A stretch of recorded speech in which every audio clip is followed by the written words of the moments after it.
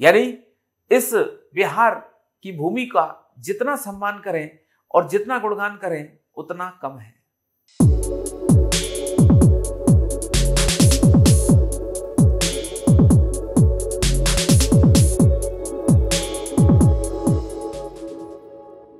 Hello friends, आप सभी लोगों का स्वागत है एक बार फिर प्रोटस आई के इस प्लेटफॉर्म पे। स्वागत, वंदन, अभिनंदन। मित्रों, दोस्तों आज आपके सामने मैं एक ऐसा महत्वपूर्ण टॉपिक लेके आया हूँ, जिसके बारे में ये कहा जा सकता है, यदि इसको नहीं समझा या इसके बारे में नहीं जाना तो कहीं ना कहीं भारत का जो ज्ञान है, वो अधूरा ही माना जाएगा। यानी हमारा जो भारत है, वो उत्तर से लेकर दक्षिण तक, पूरब से लेकर पश्चिम तक, पूरा भारत महान है इसमें कहीं कोई दो राय नहीं। लेकिन भारत को यदि अच्छी तरीके से, भारत के ज्ञान को यदि आत्मसात करना है कि भारत की जो भी परंपराएँ हैं, किस प्रकार से भारत में ये सारी चीज़ें आगे बढ़ी तो उसे, उसके लिए कहीं ना कहीं हमें जो है बिहार की तरफ़ जाना ही पड़ेगा। ये हमारी मजबूरी नहीं है, ये हमारी मजबूती है। तो ये जो शब्द आपके सामने दिखाई दे रहा है, बिहार, जिसके बारे में कहा जाता है, the land of Pataliputra.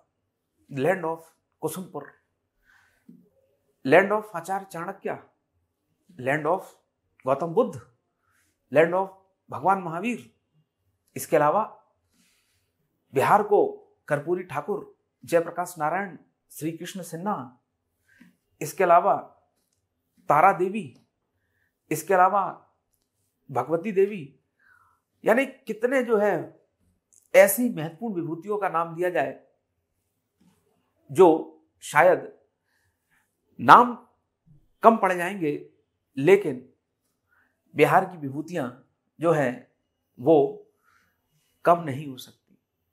यानी कि हमारे पास समय कम पड़ सकता है, लेकिन विभूतियों के नाम जो है, वो कम नहीं पड़ सकते। यहाँ से मैं आपसे सिर्फ़ इतनी बात कहना चाह रहा हूँ कि इस बिहार के द्वारा ना केवल भारत को, पूरे विश्व को क्या क्या दिया गया? तो कुछ ये शब्द आपके सामने लिखे हुए हैं। ज्ञान, विज्ञान, धर्म, आध्यात्म, संस्कृति, सभ्यता, राजनीति। इन सबको यदि एक प्रकार से टोटलिटी में देखा जाए तो निश्चित रूप से मैं इस निष्कर्ष या मैं ये बात कह सकता हूँ कि बिहार से महान और बिहार से बड़ी पवित्र भूमि जो है, वो शायद ही विश्व में कहीं और हो। विश्व में शायद ही कहीं और हो। यानी इतनी महान बातें बिहार में छिपी हुई है। और महानता की पराकाष्ठा है, महानता की पराकाष्ठा है जो बिहार में छुपी हुई है। ये हम सबके लिए गौरव की बात है। ये हम सबके लिए सम्मान की बात है। और इससे बड़ी बात क्या हो सकती है कि बिहार के माध्यम से पूरे विश्व को प्रकाशित करने का प्रयास किया गया है। कैसे? समझने का प्रयास करेंगे। अनेक प्रकार के कौन कौन सी विचारधाराएँ कौन कौन से धर्म निकले हैं जिसके माध्यम से इस बिहार का जो नाम है, वो इस पूरे तारामंडल, पूरे आकाश मंडल और पूरे विश्व में एक प्रकार से अमर हो चुका है। यानी इस बिहार की भूमि का जितना सम्मान करें और जितना गुणगान करें, उतना कम है। शब्द जो है वो कम पड़ जाएँगे लेकिन गुण जो है, वो कभी कम नहीं पड़ सकते। चलिए शुरुआत करते हैं। बिहार में हम लोगों ने एक बहुत ही महत्वपूर्ण व्यक्तित्व पर्सनैलिटी के बारे में हमेशा से चिर परिचित नाम के रूप में सुन रखा है, जिनका नाम है आर्यभट्ट। आर्यभट्ट को कौन नहीं जानता है? आर्यभट्ट जिनके बारे में यह कहा जाता है कि गुप्त काल में पांचवी, छठवीं शताब्दी में आर्यभट्ट ने अपना जो जीवन है, वो पटना, यानी उस समय कुसुमपुर कहा जाता था, वहाँ पर जो है उन्होंने अपनी शिक्षा आगे आगे जो है पढ़ाई इसके अलावा नालंदा विश्वविद्यालय और अनेक विश्वविद्यालय में जो है उन्होंने शिक्षा अध्यापन का भी कार्य किया।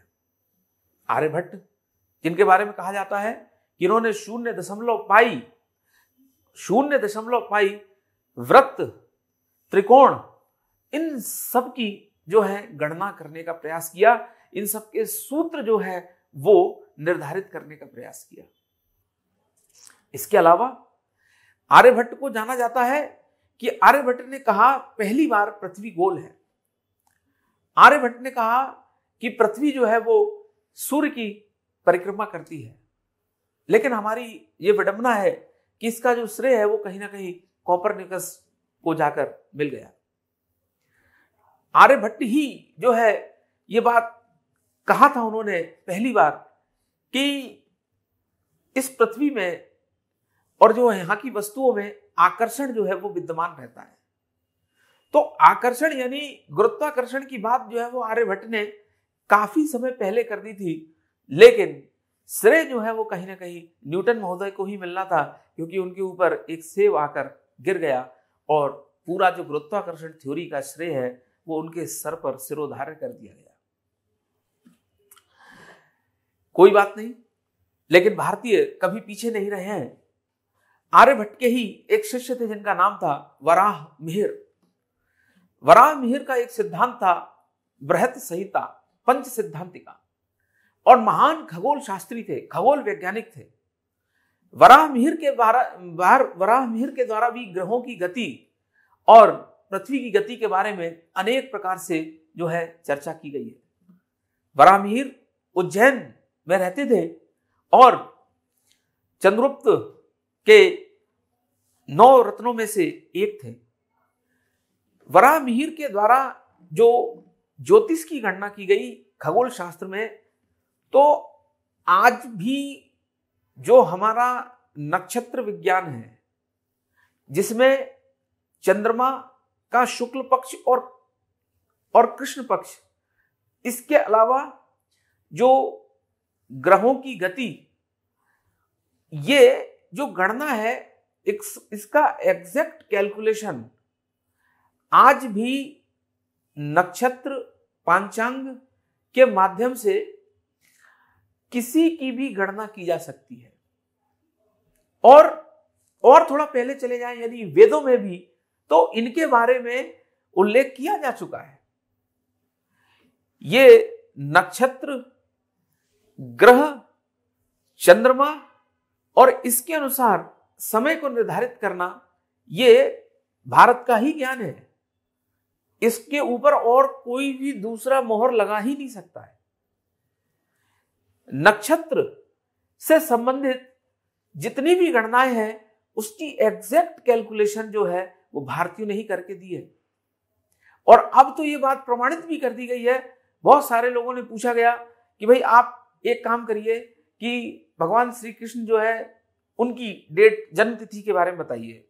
श्री राम की जो है जन्म तिथि के बारे में बताइए। तो उसकी भी गणना जो है, वो एग्जैक्ट जो है, इस नक्षत्र और ये जो समय है, इसके माध्यम से करके बता दी। तो यहाँ मैं आपसे जो बात कहना चाहता हूँ मुख्य रूप से कि ये जो समय है, ये जो काल है, यानी टाइम एंड स्पेस इसमें केवल भारतीय ही है जो गणना कर पाए। पूरे विश्व में केवल भारतीय ही हैं जो गणना कर पाए और उसमें भी बिहार की महान विभूतियों का योगदान था। नक्षत्र गणना कैलकुलेशन को आज नासा भी स्वीकार करता है और पाँच हज़ार साल, दस हज़ार साल पहले की भी गणनाएँ जो है, वो नासा के माध्यम से, इस थ्योरी के माध्यम से कहीं ना कहीं स्वीकार किया गया है या इसको सत्यापित कराने का प्रयास किया गया है। तो ये जो ज्ञान था, ये भारत के सर्वश्रेष्ठ ज्ञानों में से एक था। कौन सा ज्ञान? चंद्रमा की कलाएँ, नक्षत्र, ग्रहों की गति और उसके अनुसार पूरा एक पांचांग, यानी पूरा जो है, एक टाइम पीरियड जो है टाइम स्केल जो है, उसका निर्धारण कर देना। ये जो है, भारतीय ही कर सकते हैं। दूसरी, इससे संबंधित महत्वपूर्ण बात, भारत में अनेक प्रकार से जो है, हम खगोल शास्त्र जो है वेदशालाएँ देखते हैं। जैसे उज्जैन में, जैसे जयपुर में ठीक इसी प्रकार जो है, कई स्थानों पर जो है, अनेक राजाओं ने ये बनवाने का प्रयास किया। तो ये भारत की इसके ऊपर लीगेसी है। इसका कॉपीराइट कोई और ले नहीं सकता है, विशेषकर गणना प्रणाली में, नक्षत्रों के माध्यम से, चंद्रमा की कलाओं के माध्यम से। ये एकदम एग्जैक्ट और साइंटिफिक कैलकुलेशन है। बिहार जो है, ये ज्ञान के तार जो है, ये बिहार से भी जुड़े हुए हैं। इन सारी चीज़ों के। यहाँ आप एक शब्द और देख रहे हैं, इसके बारे में कहा गया है, ज्ञान। यदि ज्ञान की बात की जाए और एक शब्द यह आपको राजनीति दिखाई दे रहा है, यदि इनकी बात की जाए, इनसे पहले कुछ धर्म की भी बात करते हैं और फिर जो है इन पर आते हैं। यदि ये आध्यात्म की बात की जाए, धर्म की बात की जाए तो निश्चित रूप से पूरे विश्व में सबसे ज़्यादा पूरा विश्व यदि किसी क्षेत्र का ऋणी होगा तो वो बिहार का ऋणी होगा। क्योंकि पूरे विश्व को एनलाइटमेंट पूरे विश्व को प्रकाश ज्योति, पूरे विश्व को प्रकाश पुंज देने वाली कोई मिट्टी, कोई भूमि थी तो वो बिहार थी महात्मा बुद्ध के रूप में। गौतम बुद्ध के रूप में पूरे विश्व को महावीर, जैन, स्वामी जैसे महान अहिंसात्मक धर्म वाली, विचारधारा देने वाली कोई भूमि थी तो वो और कोई नहीं, बिहार की ही मिट्टी थी। ये तो सिर्फ़ दो विचारधाराएँ हैं। इसके अलावा बौद्ध धर्म की अनेक विचारधाराएँ जो है, ये बिहार और उसके आसपास के क्षेत्र में कई बार जो है फली फूली है। यहाँ पर मेरा उद्देश्य महत्वपूर्ण बातों पर चर्चा की जाए। अदरवाइज़ बहुत सारी बातें हैं जिनके बारे में हम लोग कह सकते हैं। पूरे विश्व में महात्मा बुद्ध, गौतम बुद्ध को कौन नहीं जानता होगा? जिन्होंने ना केवल एशिया, बल्कि Java, Sumatra, Malaysia, Japan, Indonesia, चीन और फिर जो है पश्चिम के जो क्षेत्र है, वहाँ पर ये जो बौद्ध धर्म है, ये पूरा जो है एक प्रकार से स्वीकार किया गया और ये प्रकाशित हुआ। महात्मा बुद्ध के विचारों के माध्यम से ये बौद्ध धर्म ये जो बौद्ध धर्म है, इसकी जन्मभूमि बिहार ही है। महात्मा बुद्ध का जन्म जो है, लुम्बनी कपिल वस्तु जो है, तराई वाले इलाके में हुआ और उसके बाद जो है धीरे धीरे जो है वो ज्ञान प्राप्ति के लिए जो है वो आगे बढ़े और गया जो है, बोध गया जिसे हम कहते हैं, वहाँ पर जो है उन्होंने छह वर्ष की कठिन तपस्या की और जो है वहाँ पर उनको ज्ञान प्राप्त हुआ ज्ञान प्राप्त होता है, कहा जाता है, ज्ञान प्राप्त जो है वो पीपल के पेड़ के नीचे हुआ और ज्ञान प्राप्ति के बारे में कहा जाता है कि बिना अन्न जल ग्रहण किए हुए छह वर्ष की कठिन तपस्या के बाद जो है वैशाखी पूर्णिमा के दिन जो है महात्मा बुद्ध को ज्ञान प्राप्त हुआ। ज्ञान प्राप्त करने की ये जो घटना है, इसे संबोधि कहा जाता है और ज्ञान प्राप्त करने के बाद वो बुद्ध कहलाए। ये महात्मा बुद्ध की कर्म भूमि और यहाँ से उन्होंने अपने जो पंचशील सिद्धांत जो है उनको आगे बढ़ाया। कौन ऐसा भारतीय होगा जो सत्य अहिंसा अस्तेय परिग्रह ब्रह्मचर्य को नहीं जानता होगा? ये भारतीय परंपरा है, जिसमें ये पाँच बातें जो है, वो आज पूरा विश्व स्वीकार कहीं ना कहीं करना ही पड़ता है। ये पाँच बातें जो है, ये बातें कहीं आज तक जो है, इसको कोई भी जो है, एक प्रकार से कटाक्ष नहीं कर पाया है।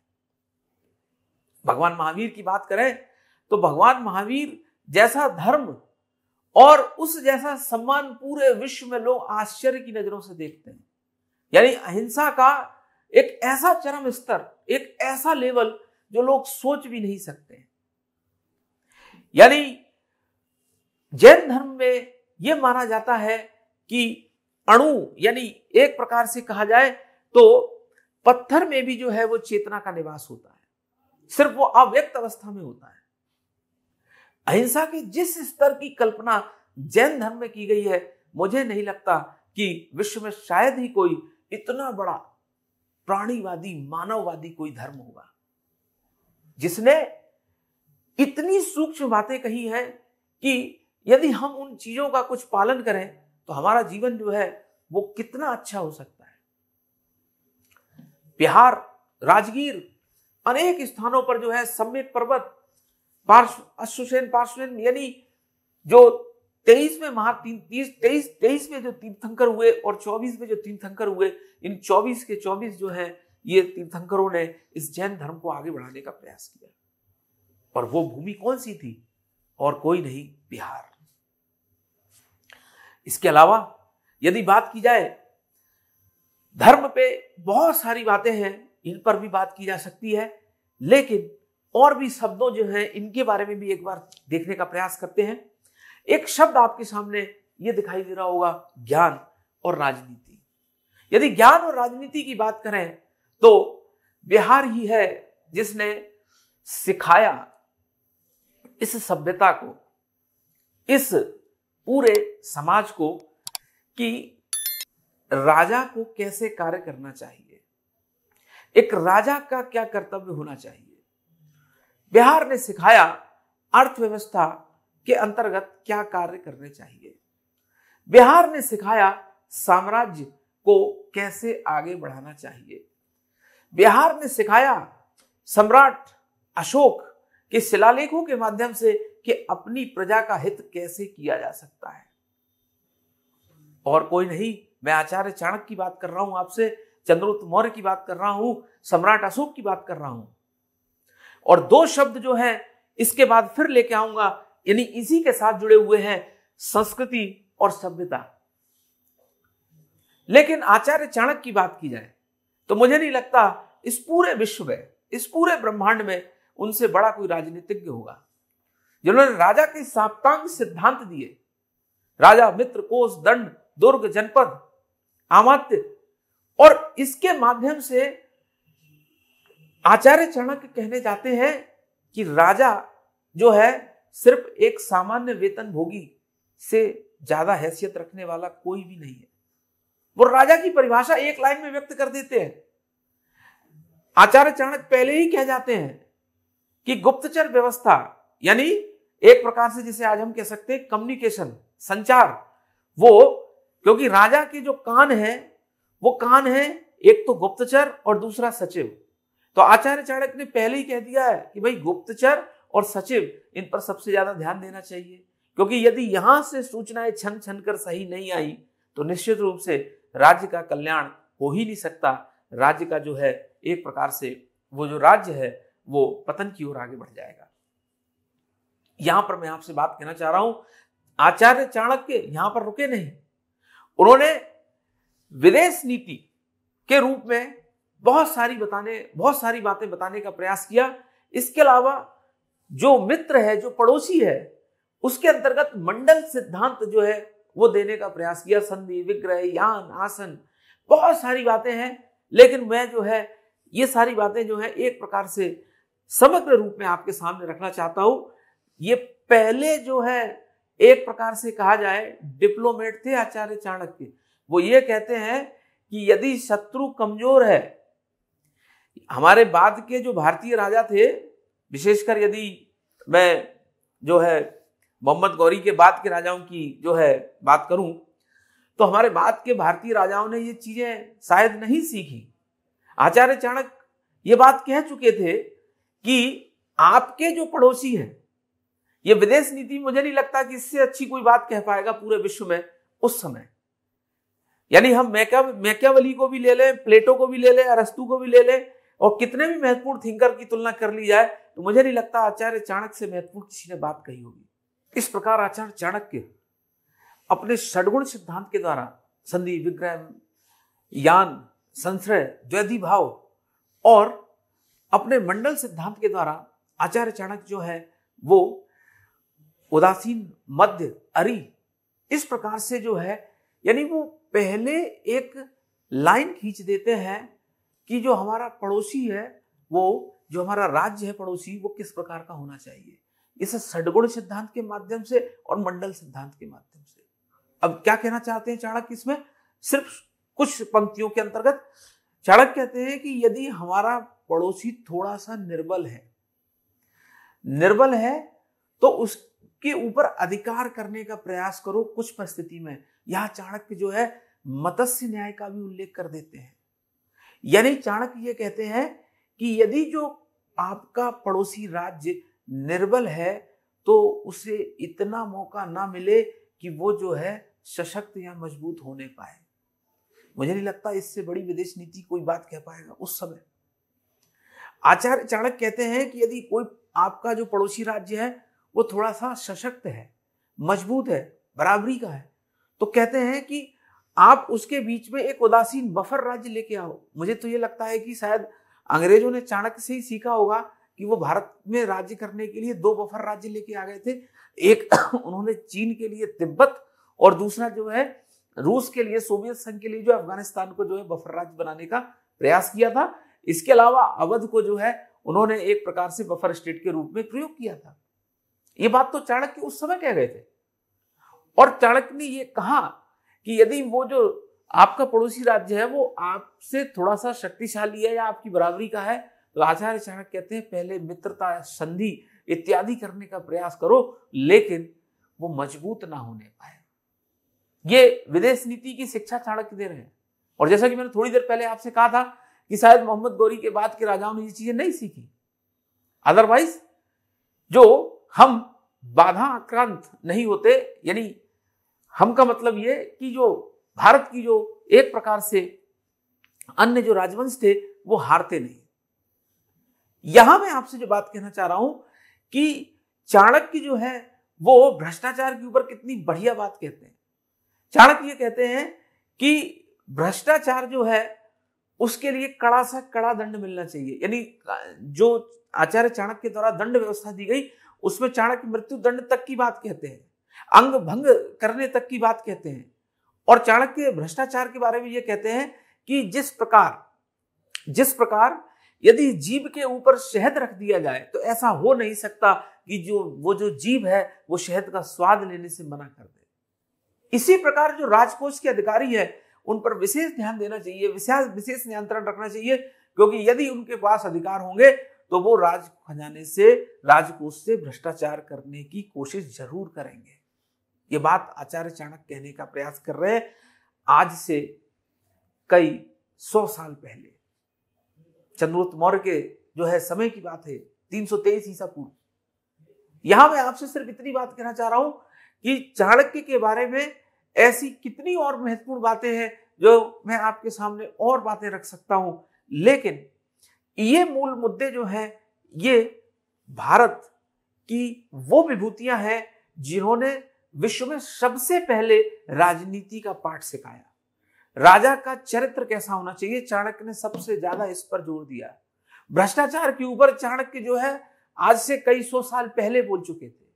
और दंड में चाणक्य ने कोई भी रियायत या किसी प्रकार की दया दिखाने की कोशिश नहीं की। दंड विधान में चाणक्य ने मृत्यु दंड की भी बात की है, अंग भंग करने की भी बात की है।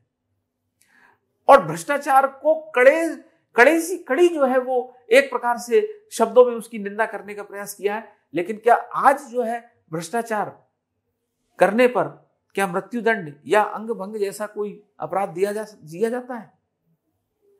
कहने का तात्पर्य यह है कि आज की व्यवस्था से भी यदि हम लोग तुलना कर दें तो चाणक्य ने उस समय भ्रष्टाचार पर इतना ज़्यादा जो है ध्यान दिया था, जितना शायद आज हम नहीं दे पा रहे हैं।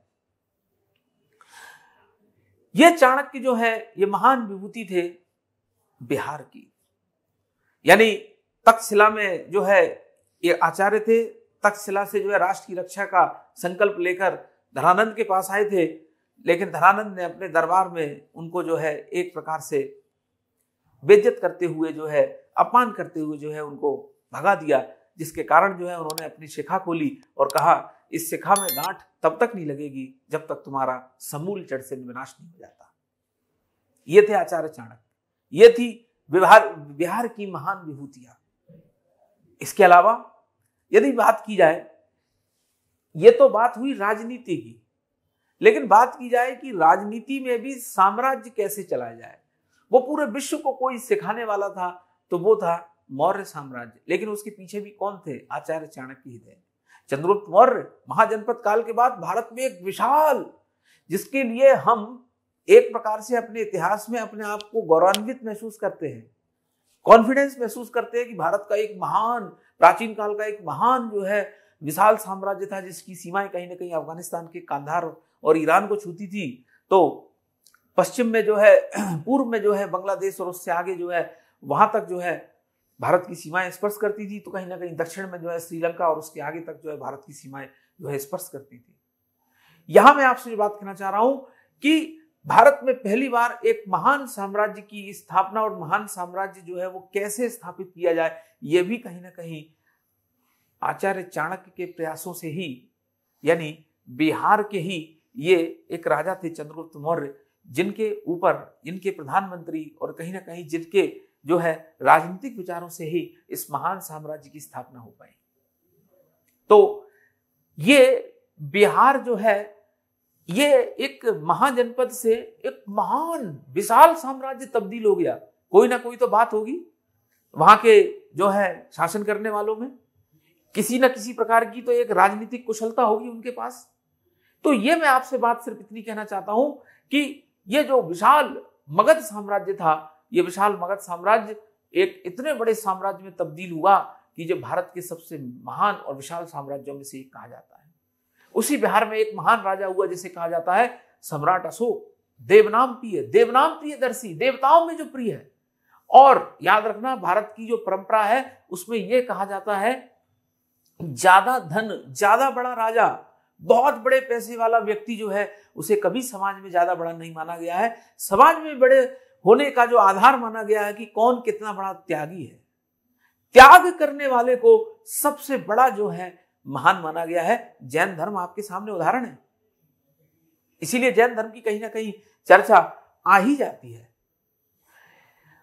सम्राट अशोक ने एक विशाल साम्राज्य पहले तो स्थापित करके बताया, और उसके बाद जो है, वो पूरा साम्राज्य जो है, अहिंसा की नीति के अंतर्गत जो है, वो त्याग कर या अपने पुत्रों को देते हुए वो जो है, संन्यास के मार्ग पर निकल गए। ये होता है भारत की परंपरा। इसे बोला जाता है बड़ा दिल इसे बोला जाता है कि हम उस शिखर तक पहुँचने के बाद जो कुछ भी है, सब कुछ जो है दान करने की क्षमता रखते हैं।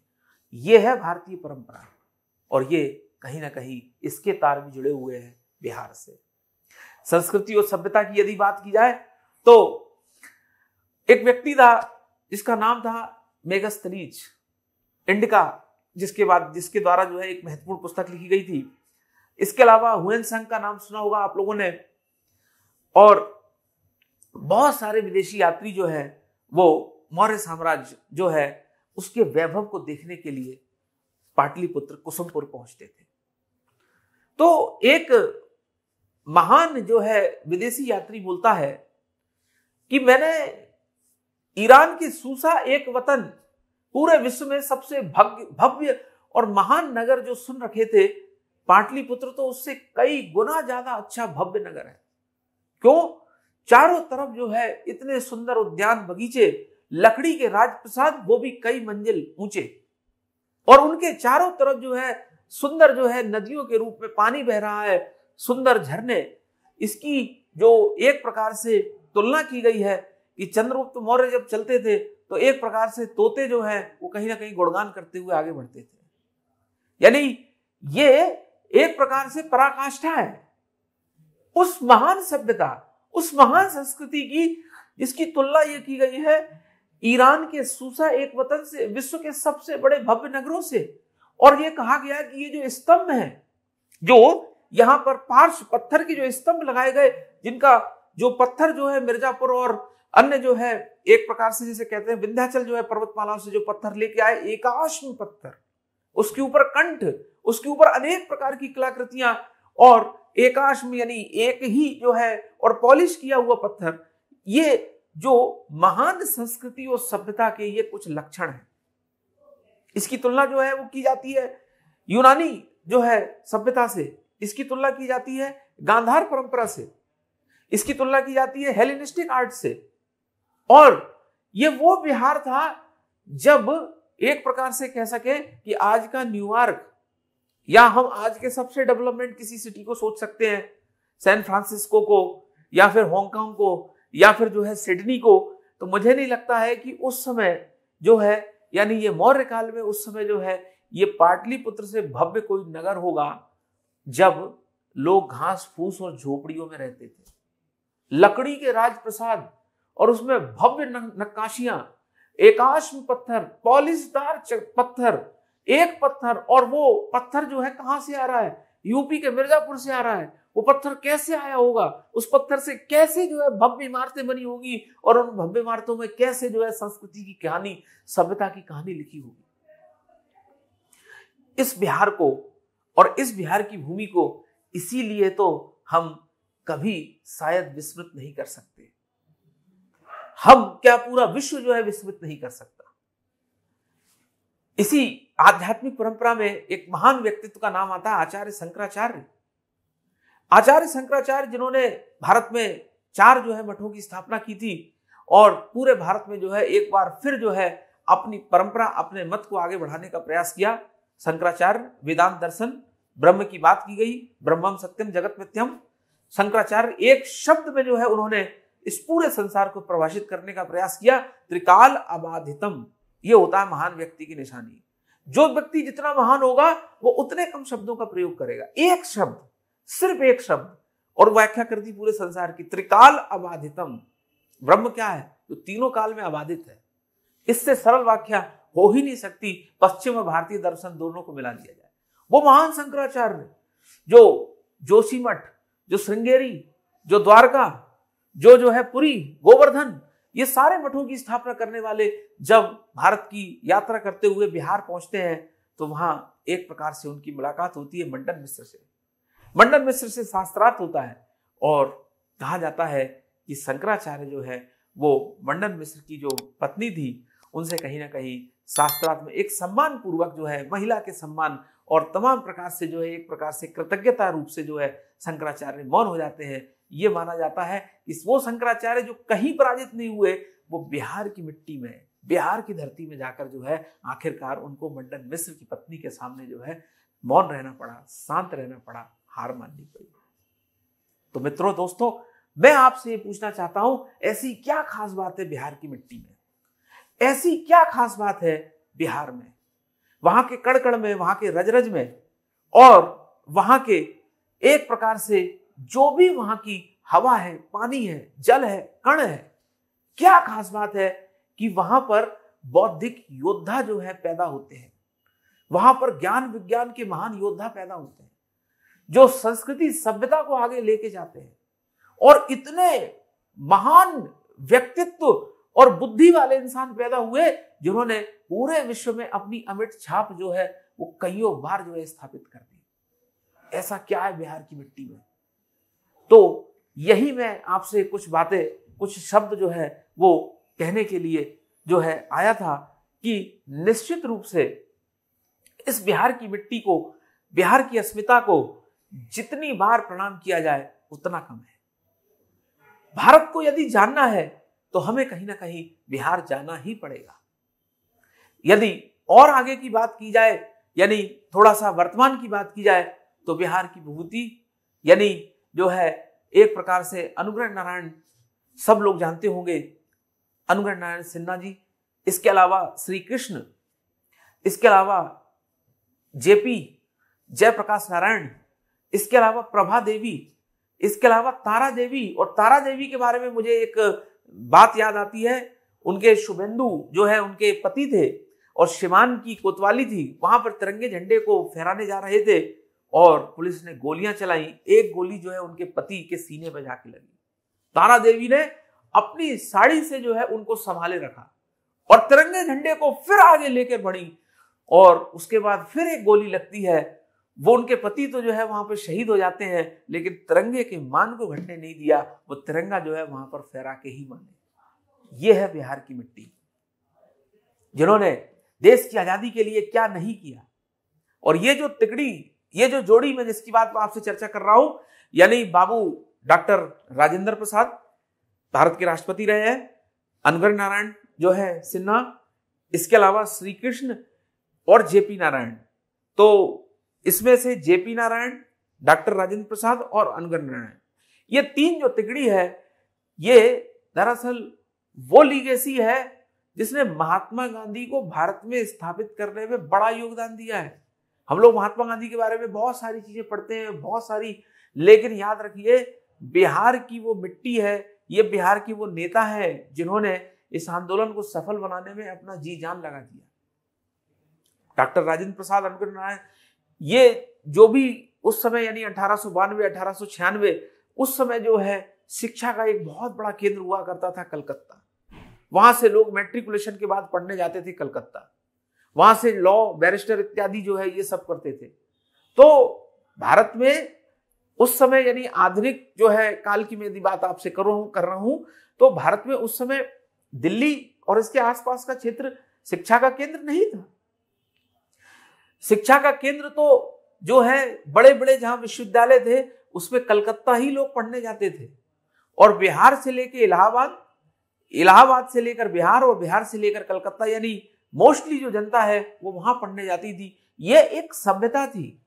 ये शायद जो है, नई युवा पीढ़ी के लोग शायद विस्मृत जो है, वो उनको ध्यान नहीं होगी, लेकिन आप इस बात पे गर्व कर सकते हैं कि ज्ञान विज्ञान का यानी शिक्षा का बड़ा, बहुत बड़ा केंद्र था। ये पट्टी, ये बेल्ट, ये क्षेत्र, यानी पटना से लेकर बंगाल, कलकत्ता तक, यहाँ पर बहुत बड़े बड़े विद्वान और यहाँ के विश्वविद्यालयों में अध्ययन करने वाले जितने भी छात्र थे, वही आगे जाके राष्ट्रीय आंदोलन से जुड़े।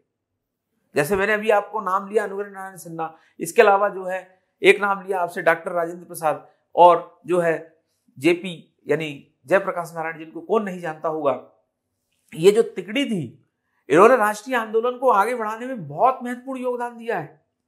ये बिहार की जो है विभूतियाँ हैं। इसके अलावा जो है वो जो क्षेत्र था, यानी अंग्रेज़ों के समय ये इतना महान क्षेत्र था, खासकर बिहार से लेकर बंगाल तक का, यहाँ पर एक से एक बढ़कर बौद्धिक नेता, एक से बढ़कर एक जो है स्वतंत्रता सेनानी, और इन्होंने राष्ट्रीय आंदोलन में जो योगदान दिया, जिसके बारे में हम हमेशा जो है नतमस्तक रहेंगे। जयप्रकाश नारायण, कौन जो है, इनके बारे में नहीं जानता होगा सिंहासन खाली करो कि जनता आती है। वो प्रसिद्ध नारा। और उन्होंने सिर्फ़ एक ही बार जो है, एक प्रकार से अलग जो है, वो जनता के बीच में एक चेतना जो है, वो स्थापित करने का प्रयास किया और तख्ता जो है, वो सिंहासन जो है, वो हिलने लगा। जॉर्ज फर्नांडिस कौन नहीं जानता होगा? सिद्धांतवादी नेता जॉर्ज फर्नांडिस। यानी वो बिहार की वो परंपरा थी, सत्तर अस्सी का जो दशक था सत्तर का दशक, अस्सी का दशक, नब्बे का दशक, यानी बिहार में एक और महान नेता थे कर्पूरी ठाकुर। क्या समय था वो बिहार का? यानी वहाँ पर राजनीतिक विचारधाराओं को भी कितना सम्मान दिया जाता था? जॉर्ज फर्नांडिस जो है, एक जिस कहा जाता है कि इमरजेंसी में जो है, बड़ी, बहुत प्रताड़ित हुए। इमरजेंसी में जो है, उनके हथकड़ी जो है, उनको जेल में जो है, कितनी बुरी परिस्थिति में रखा गया। लेकिन उनकी जो भाषा है, वो सहजता जो है, वो पूरा भारत स्वीकार करता है। जॉर्ज फर्नांडिस, कर्पूरी ठाकुर, ये बिहार की वो महान विभूतियाँ हैं, जिनके बारे में जितना कहा जाए, उतना कम है। तो आज हम लोगों ने प्राचीन काल से लेकर और आधुनिक काल तक इस बिहार की महान मिट्टी, महान सभ्यता, महान संस्कृति विचारधारा को समझने का प्रयास किया है और मेरा मूलभूत उद्देश्य यह है कि ये जो अलग है, ये जो जागृति है, ये जो चेतना है, ये सदैव युवाओं के हृदय में संजोए रहे। ये मेरा मूलभूत उद्देश्य है कि बिहार की मिट्टी को प्रेम करने वाले, बिहार की मिट्टी को ना केवल बिहार के लोग बल्कि पूरे भारत के लोग जो है प्रेम करने वाले, वो अपने हृदय में बिहार के प्रति ये जो अस्मिता है, ये जो सम्मान है, वो हमेशा बना के रखें। इतना कुछ बिहार ने दिया है, मुझे नहीं लगता है कि पूरा जो भारत है पूरा विश्व जो है वो शायद ही जो है ऐसे किसी क्षेत्र का इतना ऋणी होगा। तो सभी भारतवासियों से और खासकर सभी युवाओं से और सभी प्रति, प्रतियोगी परीक्षा की तैयारी करने वाले जो विद्यार्थी हैं यूपीएससी स्टेट पीएससी उन सभी से मैं यही बात कहूँगा कि आप जो है भारत में अपने आप को सबसे ज़्यादा गौरवान्वित महसूस कर सकते हो। इस बात के लिए आप जितनी चाहें उतनी मिठाई खा सकते हैं।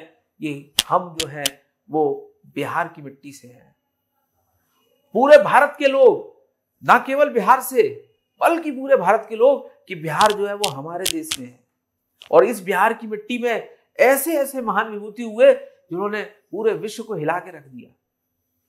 ये शब्द, ये नाम जो है, मैंने अभी आपके सामने लिए। चाहे आप संस्कृति को ले लिए सभ्यता को ले लीजिए, चाहे आप धर्मों को ले लीजिए, भगवान बुद्ध को ले लीजिए, इसके अलावा भगवान महावीर को ले लीजिए चाहे आप जो है मौर्य काल की महत्वपूर्ण सभ्यता और संस्कृति को ले लीजिए और उनकी तुलना पूरे यूरोप से कर लीजिए, मुझे नहीं लगता कि बिहार से आगे कोई भी, बिहार से आगे क्या, बिहार के बराबर भी शायद भी कोई हो। वो भारतवर्ष का क्षेत्र। बिहार से एक और महत्वपूर्ण पर्सनैलिटी हुई थी, जिनका नाम था प्रभावती देवी। और महात्मा गांधी और महात्मा गांधी की जो पत्नी है, इनके साथ जो इन्होंने काफ़ी जो है प्रयास किया था। मजहर उल हक, सदात आश्रम की इन्होंने स्थापना की थी, महान पर्सनैलिटी, भगत सिंह। भगत सिंह के बारे में ये कहा जाता है कि महात्मा गांधी जब बिहार अपनी यात्रा पे आए थे तो कुछ विद्रोहियों ने या फिर कुछ जिसको हम कह सकते हैं, अंग्रेज़ों के द्वारा महात्मा गांधी के खाने में जहर मिलाने का प्रयास किया गया था और उसके लिए भगत सिंह को काफ़ी लोभ लालच देने का प्रयास किया। उन्होंने मना कर दिया। वो शहीद होने के लिए तैयार हो गए, लेकिन उन्होंने महात्मा गांधी के भोजन में जहर नहीं मिलाया। यह है बिहार की अस्मिता। प्राण जाए पर वचन ना जाए। और कितनी महान विभूतियों की मैं चर्चा कर सकता हूँ, लेकिन मुझे यहीं पर रुकना पड़ेगा। समय की मर्यादाएँ हैं। अंत में सिर्फ़ इतना ही कहना चाहूँगा आप सभी लोगों से कि अब आपके कंधों के ऊपर भी एक ज़िम्मेदारी है। ये बिहार की जो गौरवशाली परंपरा है, संस्कृति है, चेतना है, जागृति है और जितनी भी महत्वपूर्ण हम लोगों ने बातें बिहार के बारे में कही, यानी पूरे बिहार के सांस्कृतिक, सामाजिक आर्थिक, राजनीतिक सभी प्रकार के आपको वैविध्य को जो इतिहास के पन्नों पर कहीं ना कहीं निर्धारित किए गए हैं, छुपे हुए हैं, उन सबको जो है आपको अपने हृदय में संजो के रखना है और उन सबको जो है आपको एक बार फिर जो है उसकी जागृति, उसकी चेतना जो है वो पूरे भारत में जगानी है। मित्रों, दोस्तों, आज यहीं तक। आप सभी लोगों का बहुत बहुत धन्यवाद। फिर मिलते हैं। वंदे मातरम भारत माता की जय।